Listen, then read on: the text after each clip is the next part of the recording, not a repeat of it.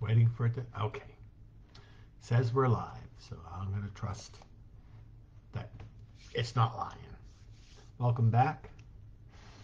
Um, as we continue John's Gospel, as we start to get to the end of John's Gospel, um, there's a change. Jesus has been teaching, is, he's trying to get everything into his disciples before his crucifixion.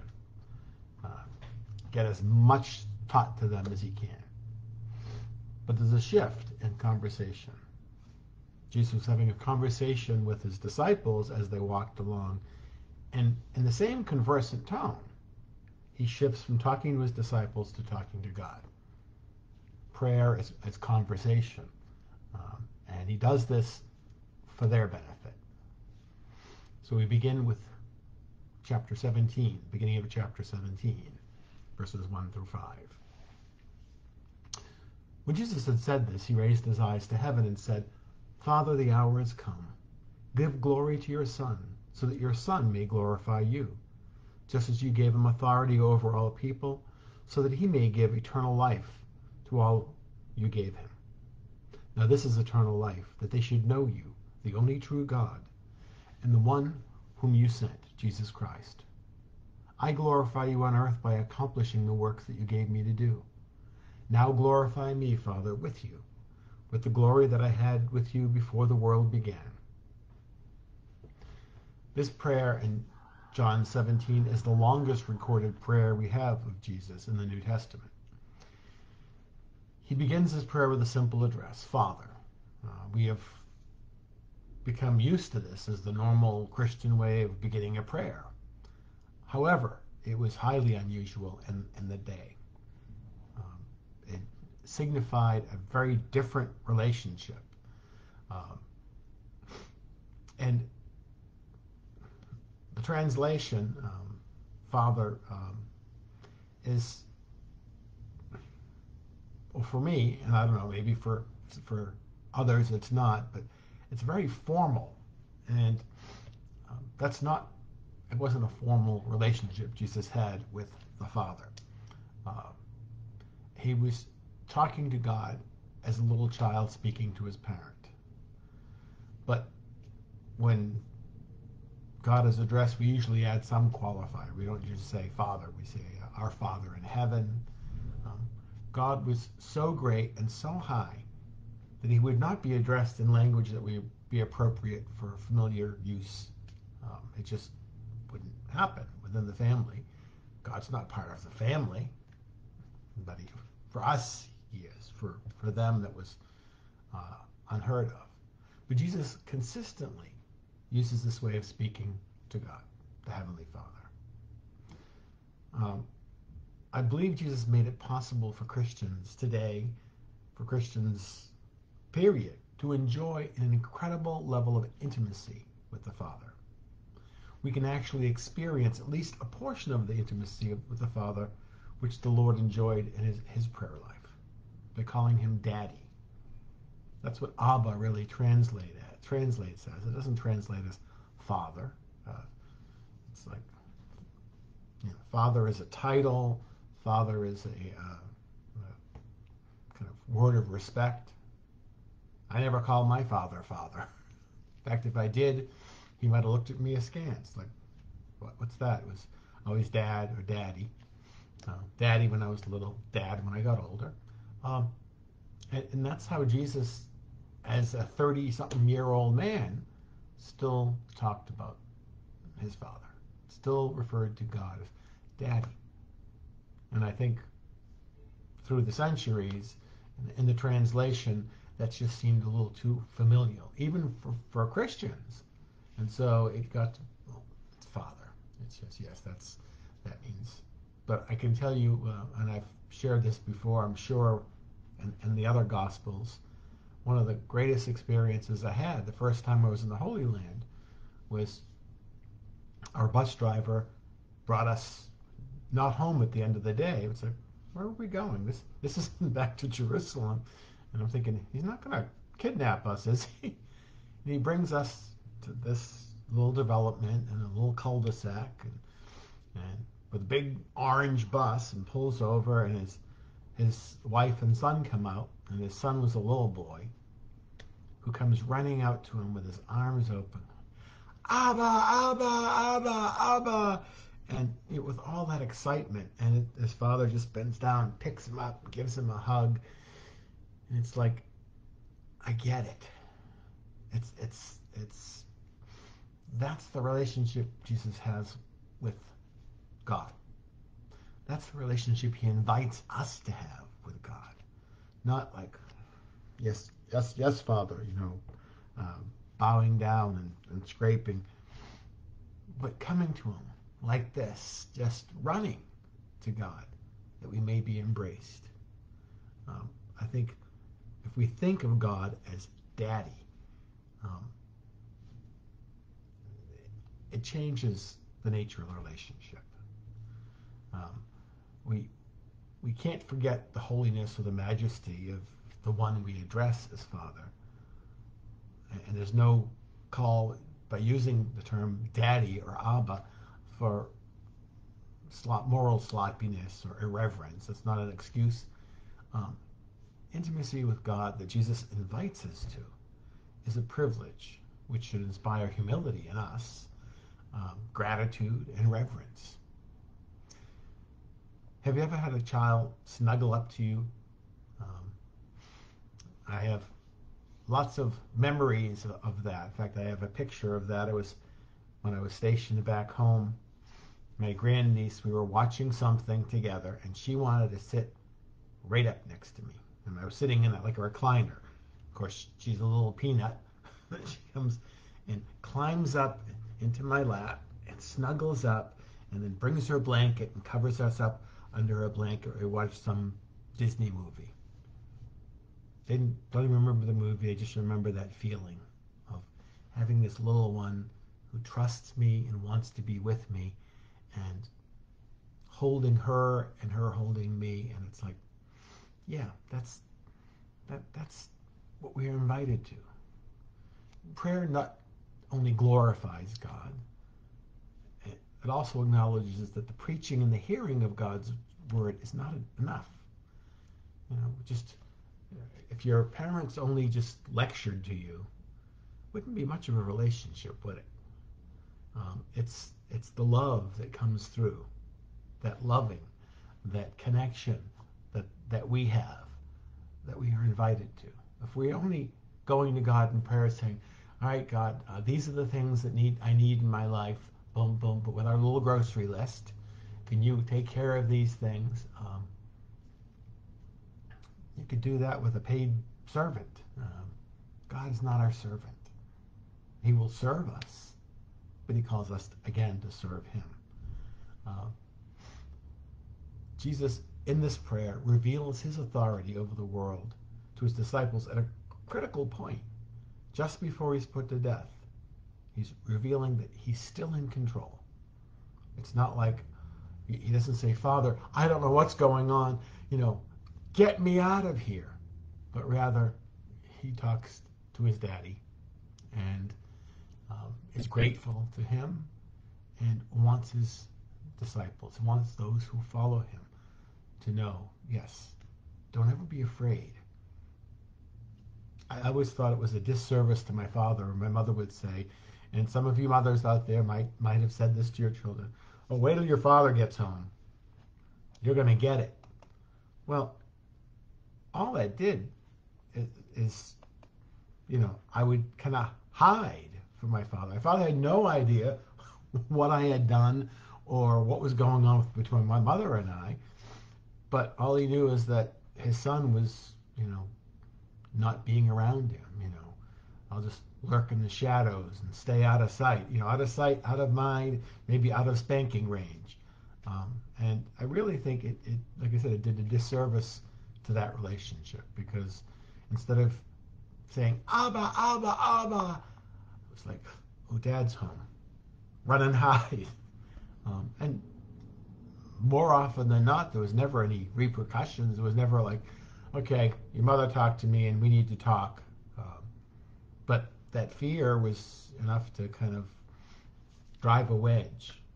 That's why Jesus constantly reminds us to not be afraid, to trust And he reveals his own trust, even in the face of they're walking. They're heading to the crucifixion. They're, they're heading to his uh, demise as, as a human, a physical person. Um, and yet, he's trusting in God the Father. So he continues, I reveal your name to those whom you gave me out of this world. They belong to you, and you gave them to me. And they have kept your word. Now they know that everything you gave me is from you because the words you gave me I have given to them, and they accepted them, and truly understood that I came from you, and that they have believed that you sent me. I pray for them. I do not pray for the world, but for the ones you have given me, because they are yours, and everything of mine is yours, and everything of yours is mine, and I have been glorified in them. Now we start to get into John's cyclical conversation. This will forward to that. That'll go back to this. It's like, what, what, what, what, what are you saying here? So let's clarify. The things that have been accomplished in the lives of the disciples are those things which Jesus himself has accomplished. One, he's revealed the Father to them. Two, he has given them his word. The Father's word through the word of Jesus and he has been glorified by them. The actions, the signs that John records in his gospel are signs of, of God's glory, and the disciples recognize God's power in Christ. Mission accomplished. He has done, he, he can leave this earth knowing I did what I came to do, I did what I was supposed to do, and um, if we wait for the perfect, we miss out on, on what might be. Uh, and Jesus didn't leave perfect disciples behind, but he did do what he was supposed to do.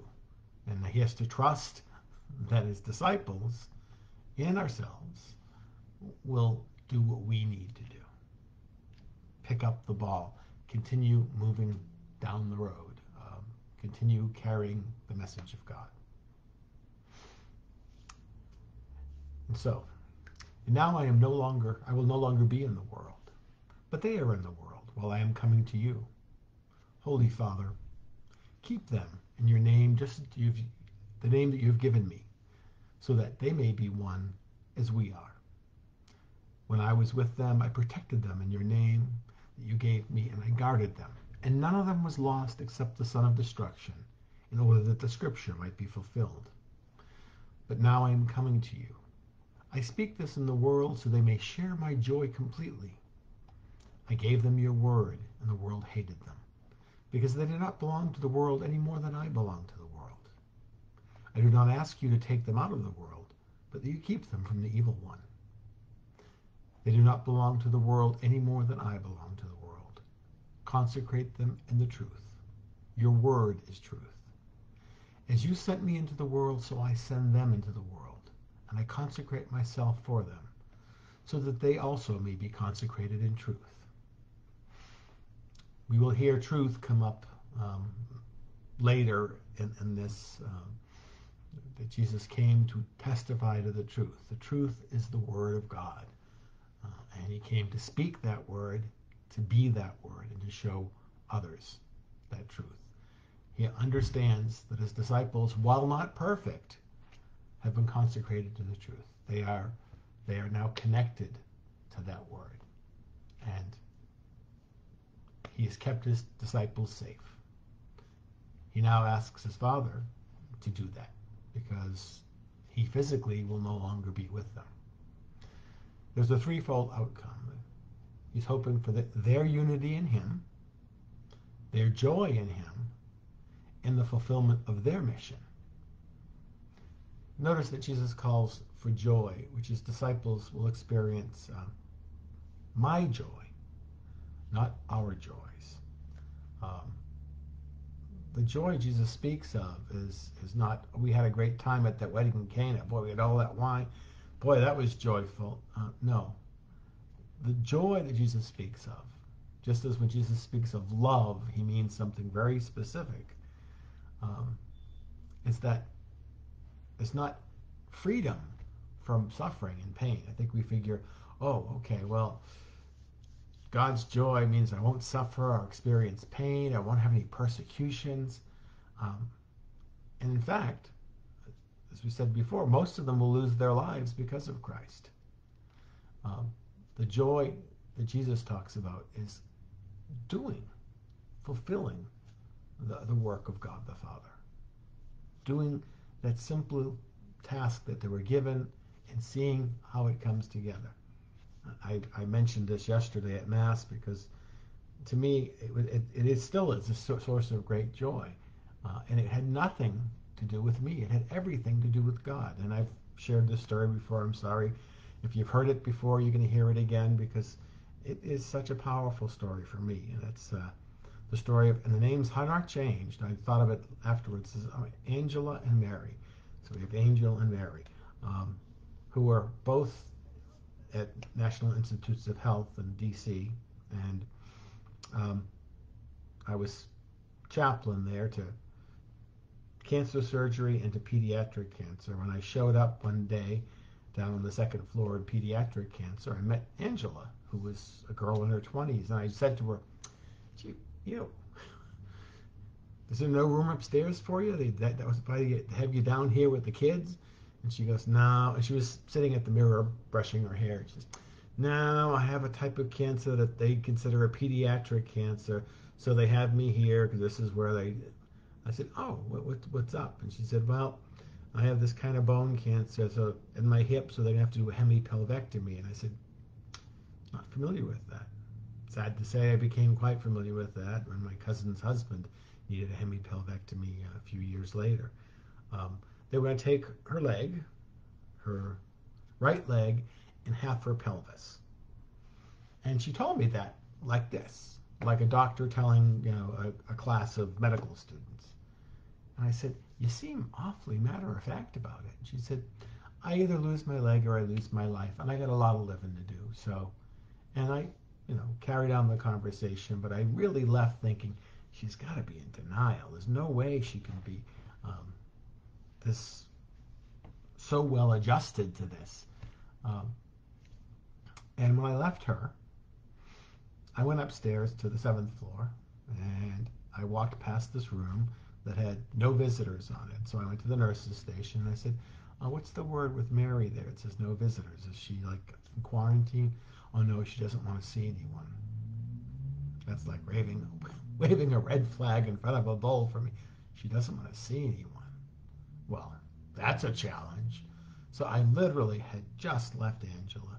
I walked into Mary's room, completely dark. Blinds are closed, lights are off, filled with flowers and cards. And I said, Mary? She said, yes. And I walked over to her and she said, I said, uh, I introduced myself and I said, uh, I'm here from the chaplain's office. Uh, what's going on? Oh, my life is over. I said, Oh, I'm so sorry. Want to talk to me? He says, Well, I've got cancer and I'm going to have to lose my leg below the knee. They're going to take my leg off below the knee. And I said, Well, it sounds like you're going to lose your foot, but not your life. What difference is it? What, there's no sense in going on. And I said, What did they say after? Oh no, they said, you know, if they do that, they'll they'll have the cancer, it'll be gone. And I said, well, and I pointed to all the flowers and cards. I said, do you think the people who sent you all of these things only love you because you have two full legs? Is that, is that you know, trying to get a, just a crack of smile out of her? She goes, no, but there's no sense in going on after this. It's just, you know. And so, like I say, I literally had just left Angela. I said, you know, I have another patient who's having a similar operation. Mind you, her operation was two or three times as worse. Would it be okay if she talked with you? He goes, yeah, okay. And I went down, left her, went downstairs, talked to Angela, and I said, I have a girl up in seven who thinks her life is over. Oh!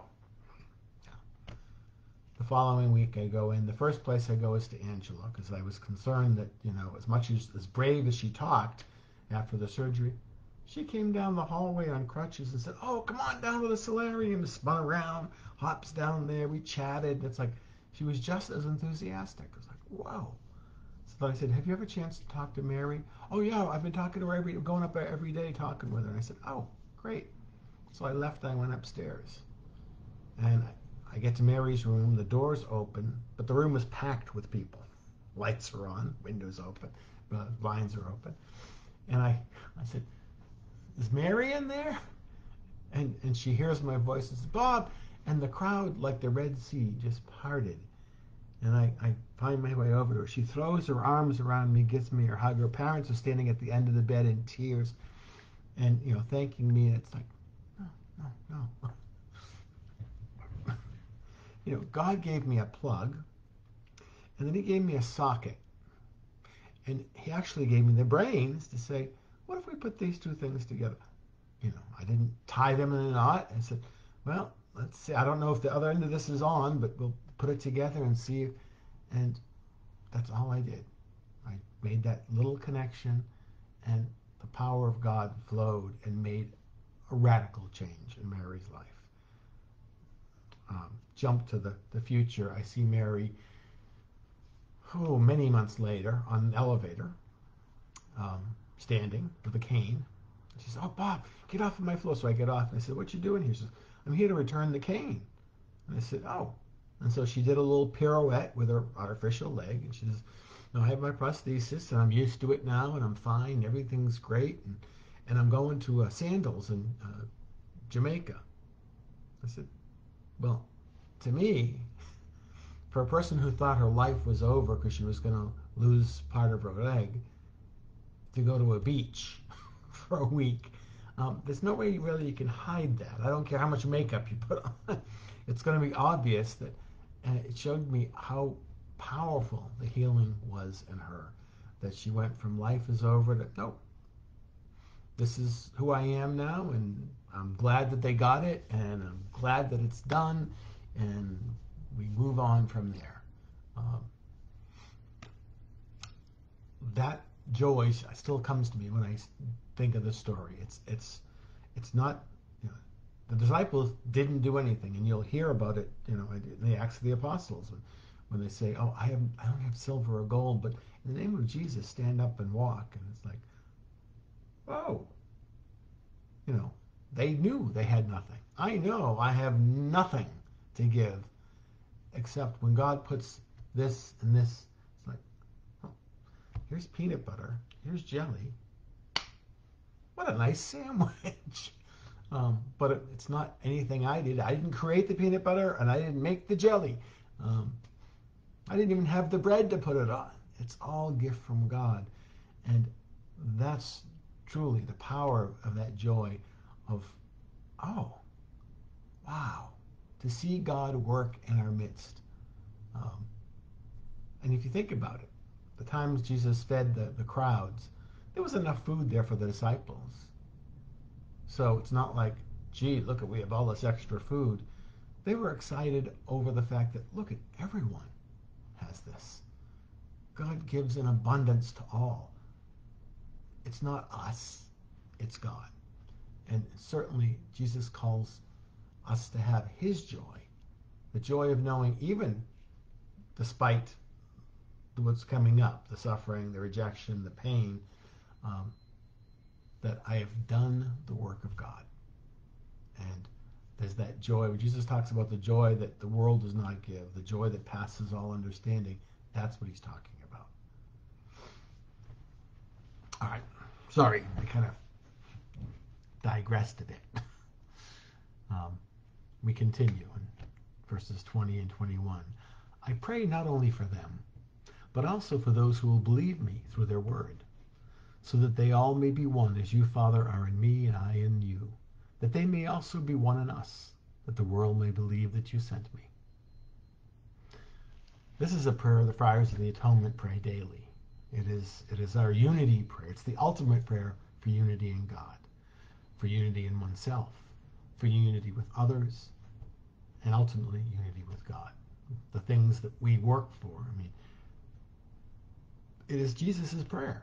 That's you know, and and we have a hand in making that prayer come true by working for that unity. and not we, just the Friars of the Atonement. It just happens to be one of our charisms to, to really foster that unity. Um, but the goal of unity is not simply for ourselves. That isn't this great?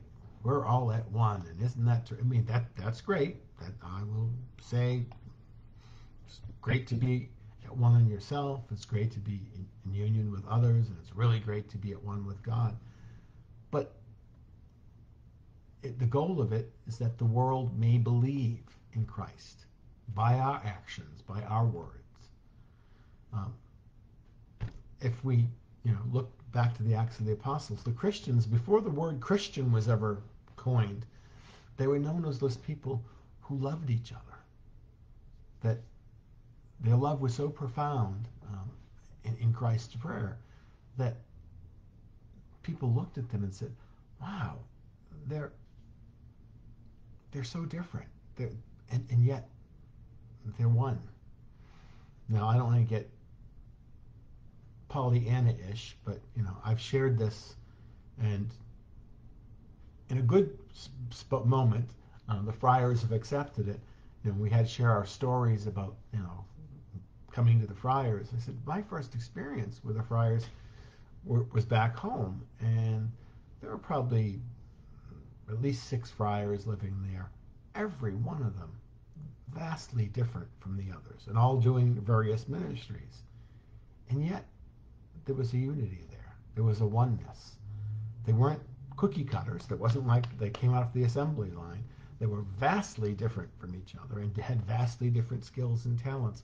And yet there was a oneness that spoke to me that said, wow, as different as I am, I'm invited to be one. And isn't that a wonderful feeling to be at one? Hence, atonement. That's where the Anglo-Saxon word from at one with a meant, the making of that one, making of that unity.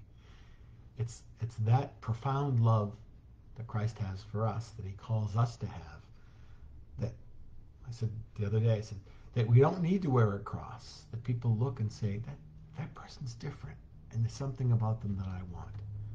It's that love. Jesus continues, I have given them the glory you gave me, so they may be one, as we are one, I and them, and you and me, so they may be brought to perfection as one, that the world may know that you sent me, and that you loved them even as you loved me. The unity is based upon the unity that exists between the Father and the Son, or in this case, the Trinity. That uh, we can't dissect the Trinity. We can talk about God the Father, Jesus, and the Holy Spirit, but that unity is is you can't separate one from the other. You can examine various things, but they are one in, in a divine sense. Hence the, the word Trinity. Um, that in, in their unity, Jesus prays for that for us. That God's love may be manifest in our lives.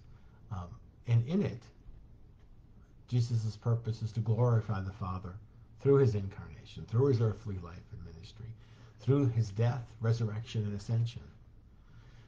The early sufferings of the Lord are just part of his glory. And this is the glory, the glory of servanthood, the glory of sacrificial service, which the Lord has given to his disciples. Just that night, when he humbly washed their feet to show this is what you are to be about. Humble service, not lorditude and, and high rank, but service.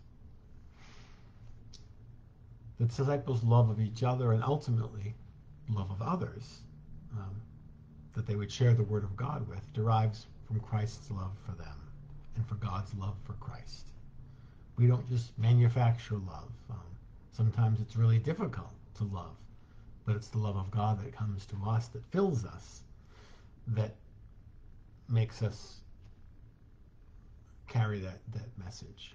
Uh, and it's sometimes easier to love others than it is to love people who are closest to you.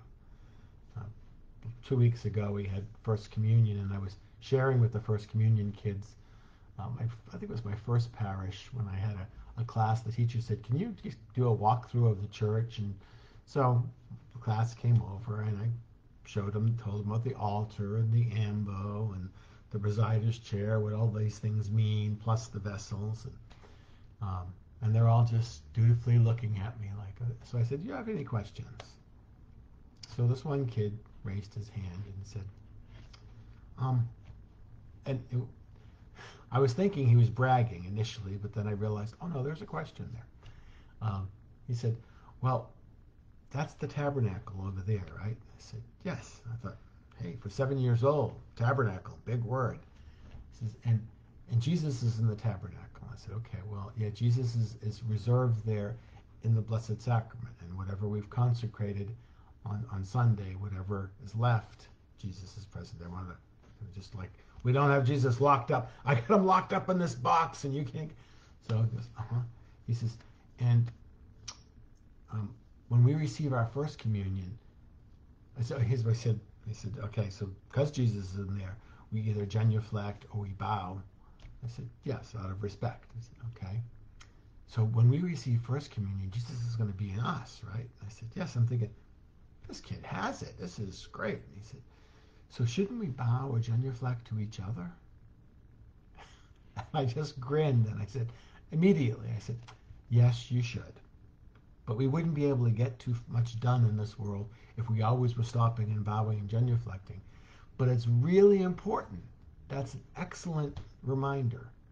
And not just to you guys. So I shared it with their parents. And I said, but to you guys, that we are living, walking tabernacles, that Christ is in each of us. And because of that, we may not always be bowing or genuflecting to one another, but we should be treating each other like Christ. Like Christ is right there.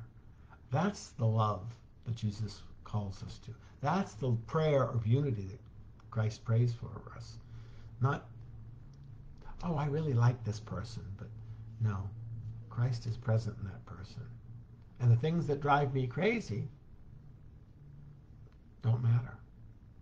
It's the love of God that's there that I hope to be immersed in and letting it flow from me that I recognize and I glorify and I share. Out of the mouths of babes. Jesus continues, Father, they are your gift to me. I wish that where I am they also may be, that they may see the glory you gave me, because you loved me from the foundation of the world. And given the nature of the disciples, their lack of understanding, um, their fighting amongst each other, their abandoning Jesus at his most difficult hour, it's astonishing to think that Jesus would call them a gift from the Father. What a crummy gift you gave me. but Jesus knows all of that and still thanks God for the gift that they are, judging not by our standards, but by divine standards. Reveals the power of his love for us. When you really love someone, you kind of overlook the flaws and blemishes. You don't pick out every little thing. Eh, got that wrong. Nope, I don't like this there. Um, and that's he shows that love for us. He knows the mistakes they made. He also knows the mistakes we make. And he still loves them and he still loves us. That's the power of this prayer. Is that it's not, gee, he didn't know us. If he knew me, he wouldn't love me. And, and there was a time in my life when I was young, I, I, I thought that way. Oh, if you really knew me, you wouldn't like me at all. You would certainly wouldn't love me. So let's keep my real self hidden. It was so great and I think maybe that was part of my conversion is to realize I know that God knows me better than I know myself. And for some strange reason, I know that God loves me. I don't know why. I could give him a long list of reasons not to love me, and yet he still does. It's it's that love that powers us as Christians. Uh, even with the disciples' betrayal, denial, and abandonment of him, Jesus still wants them with him in heaven.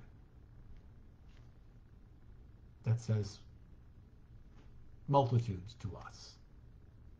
He wants us. Even if we don't think we deserve it, doesn't matter. It's not about what we deserve.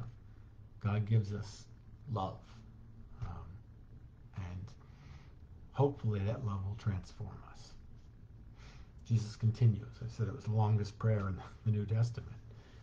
Righteous Father, the world does not know you, but I know you, and they know that you sent. I made known to them your name, and I will make it known, that the love with which you loved me may be in them and I in them. Jesus knows that the Father, because he and the Father are, are one, uh, the, the, the unity that they have in God, he prays that his disciples may also have, that they truly come to know God, not just to hear, but to hear, and to, to understand that transforming love that God has for us, that transforming love that He offers us to share. God's love's not going to run out. We don't have to worry about it. Um, it's one of the few things we, you know, in life. Well, we got to be careful. We got to parse this out because we might run out of it. No, the more we use the love of God, the more the love of God is present. Um, it defies our natural senses, but shows the divine senses, the supernatural sense. Okay, I won't belabor his prayer any longer. We move on to chapter 18. When Jesus had said this, he went out with his disciples across the Kidron Valley to where there was a garden, into which he and his disciples entered. Judas, his betrayer, also knew the place because Jesus had often met there with his disciples. So Judas got a band of soldiers and guards from the chief priests and the Pharisees and went there with lanterns, torches, and weapons. Jesus, knowing everything that was going to happen to him, went out and said to them, Whom are you looking for? They answered him, Jesus the Nazarene. He said to them, I am. Judas, his betrayer, was also with them. So when he said to them, I am, they turned away and fell to the ground. So he asked them again, Whom are you looking for? They said, Jesus the Nazarene. Jesus answered, I told you that I am. So if you're looking for me, let these men go. This was to fulfill what he had said, I have not lost any of those you gave me. Then Simon Peter, who had a sword, drew it, struck the high priest's slave, and cut off his right ear. The slave's name was Malchus. Jesus said to Peter, Put your sword back into its scabbard. Shall I not drink the cup the Father gave me? This is one of those high points. Expect lightning to be flashing. Jewish leaders looking to arrest Jesus in private so there wouldn't be a major uprising by all of his followers. So let's find some place secluded and quiet that we can grab him. Um, thus, they're bargaining with Judas to betray him in a private place where they could overwhelm him with those who were with him. And he was just there with his disciples. Judas had originally planned to betray Jesus privately without anyone knowing, but then Jesus announces that at the Last Supper that he knew Judas was going to, to betray him. Um, and so he comes to him publicly in the garden. At this point, he's figured it out, so there's no sense in me like saying, oh, look at these people, what are they doing? Um, he, he comes with the bad, he brings the bad guys instead of just sending them and, and faking it. Now, the whole cohort of guards fall back when Jesus announces he's the one they are looking for. He says, I am. They do so, not because he has bad breath. they do so because they do not expect Jesus to own up to this. And yet Jesus speaks with such great power, they're taken aback. You know, you imagine a crowd coming to you with weapons and uh, swords and clubs and lanterns um, that's that's the that's the the Frankenstein image of like you know let's storm the castle. Um, yeah, you want to lock the door and, and bolt it and block it push the furniture up against it. You don't expect to be invited in. And yet Jesus stands there and says, I am. Right here. And they're kind of like, that's not what we expected. We, we were ready for a fight, hence the large number of people here are ready. And, and there is no fight.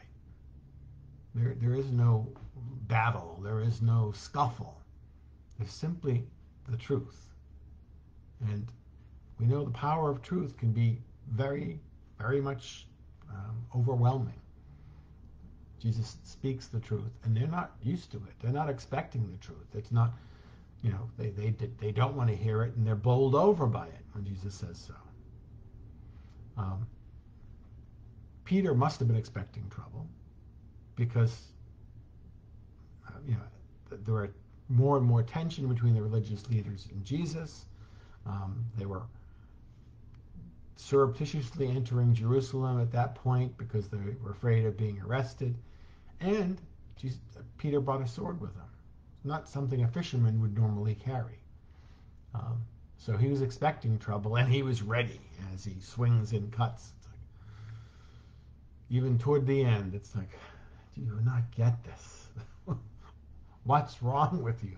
But um, just as Jesus is tempted in the desert by Satan, and tempted when Peter says, God forbid that you should die. And Jesus says to him, Get behind me, Satan. So too, this is one more chance to give over to Satan and his will rather than continuing to embrace God's will. He could just, if they didn't know him, and and you really need to be there. The last time I was in the Holy Land, um, one of the people we had there commented, uh, one of our guides, if you look, it's not much different today than it is. It's probably more built up today than, but this way is Jerusalem. That way is the wilderness.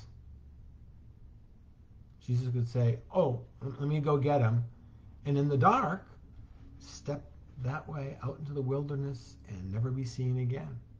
They'd never find him. They wouldn't chase him into the wilderness. They wouldn't know even to go there. No, he was here I am. And I'm sure they realized, you know, he could easily slip out of here. He could be gone and, and we'd miss him. Uh, so that they are not at all ex- expecting the truth and someone is bluntly saying, right here, this is the one you're looking for. So let the rest of these guys go. Don't bother them. It's not like the end of Spartacus. I am Spartacus. No, I am Spartacus. No, you know. They weren't saying, I am Jesus. No, in fact, they, they were probably cowering at the time. Um, but the power of that word just being spoken so simply, so elegantly, I am, um, blew them away, literally. Um, Jesus embraces God's will with that temptation to, he could have just walked down the hill in the darkness, and they've never had him. So the band of soldiers, the tribune, and the Jewish guards seized Jesus, bound him, and brought him to Annas first. He was the father-in-law of Caiaphas, who was high priest that year. It was Caiaphas who counseled the Jews that it was better for one man to die rather than the people. John wants us to know that Caiaphas, before whom the Lord will stand trial, is a judge who's already made up his mind about Jesus. Caiaphas, by whom Jesus would be condemned to die, was a man that was already determined that Jesus needs to die. It's not really a trial. If you go into the judge, okay, good, we're getting rid of you. Um, it, it's absolutely not going to be a, a just, true, fair trial. Uh, that is already clear. So John tells us the only thing the Caiaphas that really matters is that his mind is already made up. Simon Peter, another disciple, followed Jesus. Now the other disciple was known to the high priest, and he entered the courtyard of the high priest with Jesus. But Peter stood at the gate outside. So the other disciple, the acquaintance of the high priest, went out and spoke to the gatekeeper and brought Peter in.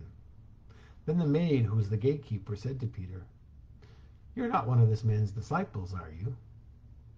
Peter said, I am not.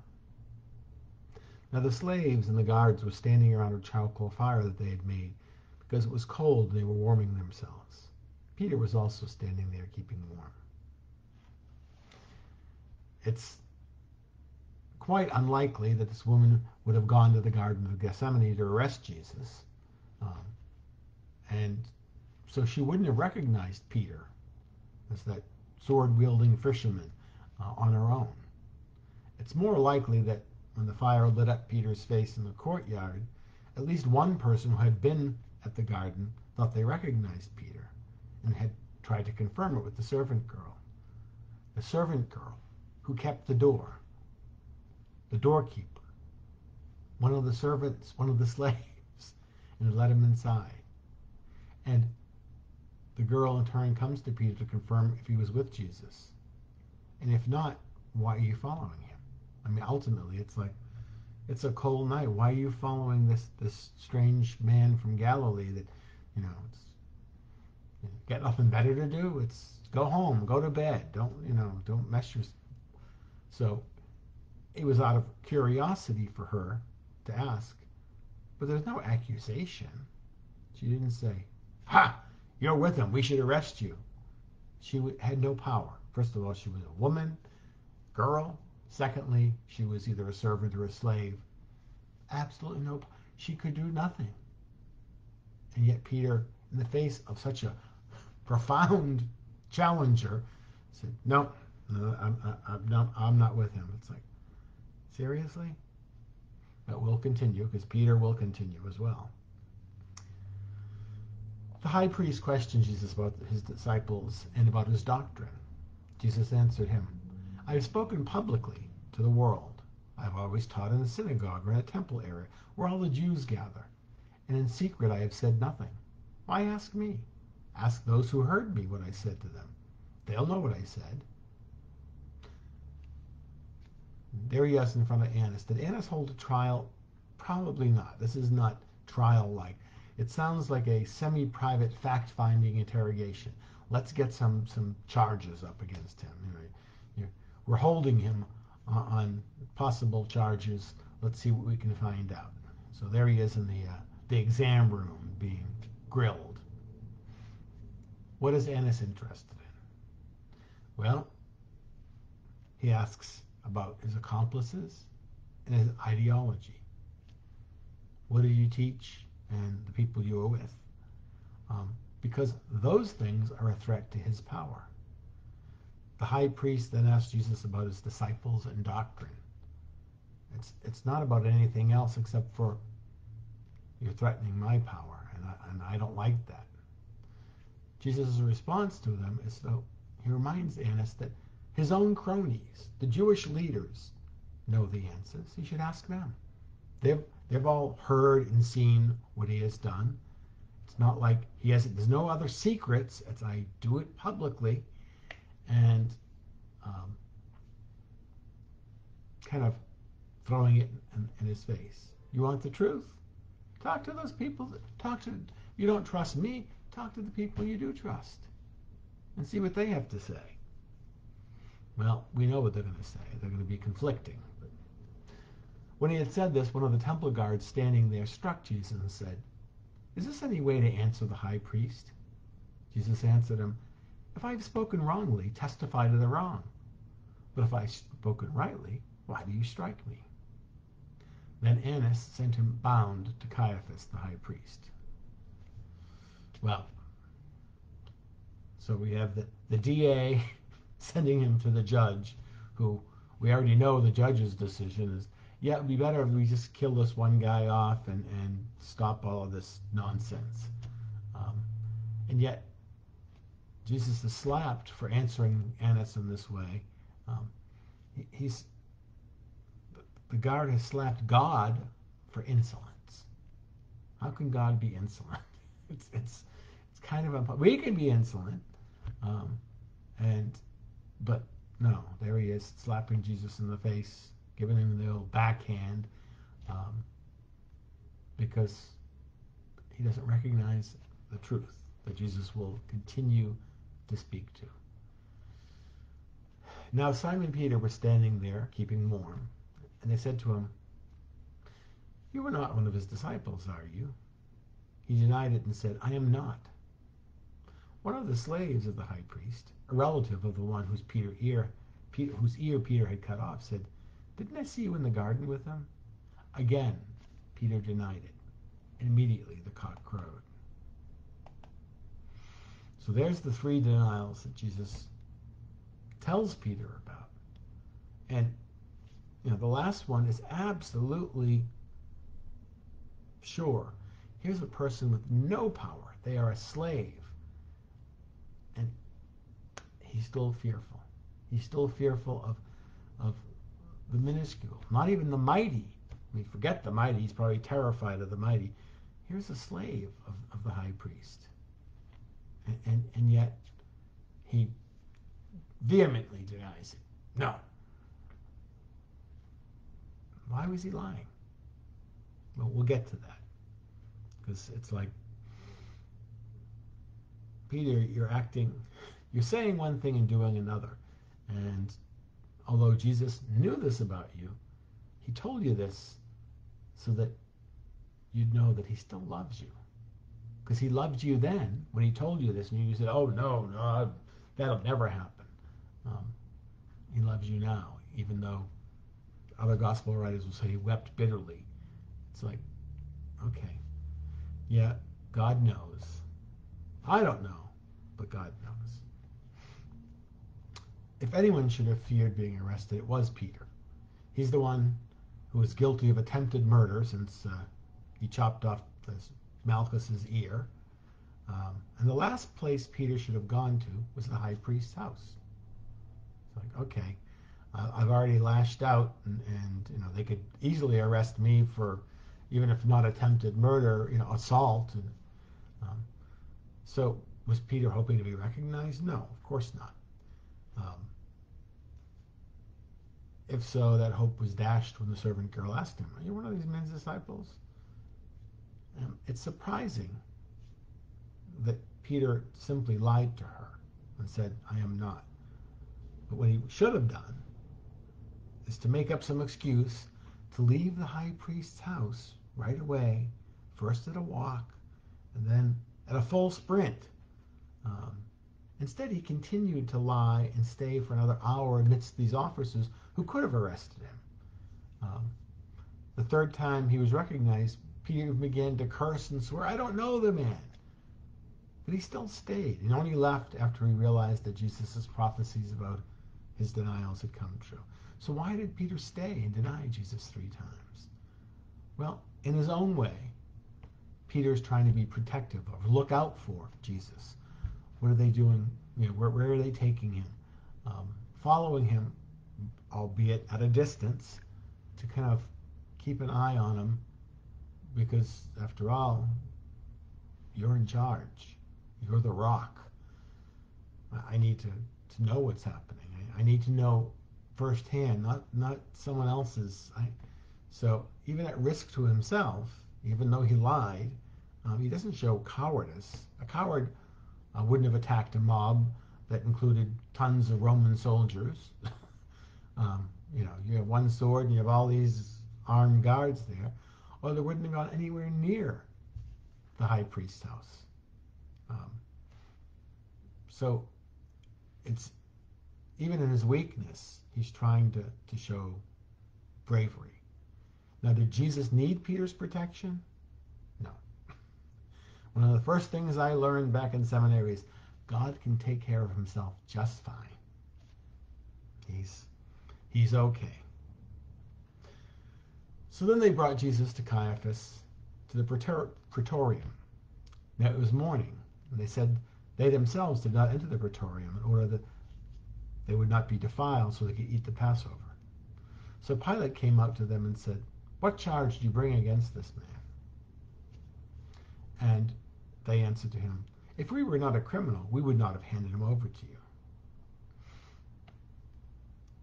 this struck me today when I was looking over the readings. It's like they didn't enter the praetorium um, because they don't want to be defiled, so they could eat the Passover. It's like, yeah, we're we're falsely sending a person to death, but we don't want to miss Thanksgiving dinner, so we're not going to do anything that's, you know.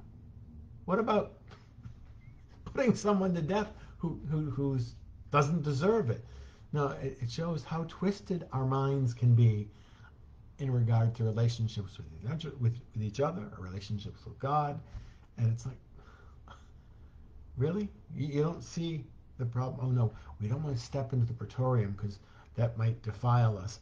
But it's okay to railroad this guy and get rid of him, put him to death. It's like, you know, even if he were a criminal, to push him through as as, as they were doing was wrong. And in fact, there are at least eight illegalities in Jesus' trial by their own rules. First, during the trial, the members of the Sanhedrin were allowed to speak in defense of the accused, but not against him. You, you can speak on his behalf, but you can't accuse him. Yet the high priest spoke publicly against Jesus. He spoke in blasphemy. Well, because of his power, it kind of throws a pall over all the rest of the judgment. Second, for the verdict to be valid, the trial had to be held in the Hall of Hewn Stone inside the temple precinct. Um, the way that, if you ever have a chance to look at a map of uh, the temple in Jerusalem, you'll see there are various places where various things happen, and the Hall of Hewn Stone is where judgments were held. Um, but Jesus was tried at, um, at the high priest's house, uh, not in a public space uh, where you know, people could witness and, and testify. Third, the trial could not be held at night, yet Jesus' trial was held at night. Fourth, the trial could not be held during a great feast, yet Jesus' trial was held during the Passover feast. All of that's supposed to be put off.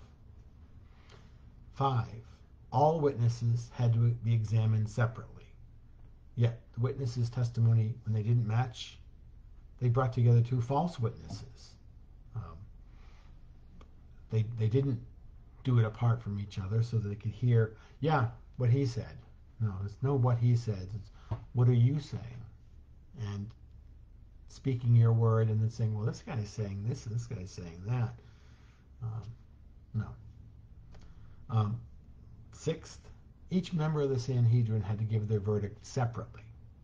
If they sentenced Jesus to death together, crucify him. It's like, that's not how this works, according to your laws. Seventh, the youngest member of the Sanhedrin had to render his verdict first, so he wouldn't be influenced by the older, more powerful members. Yet, at Jesus' trial, the high priest rendered the first verdict. He's committed blasphemy. And lastly, if the sentence was death, a night had to elapse after the day of the verdict before the death sentence was carried out.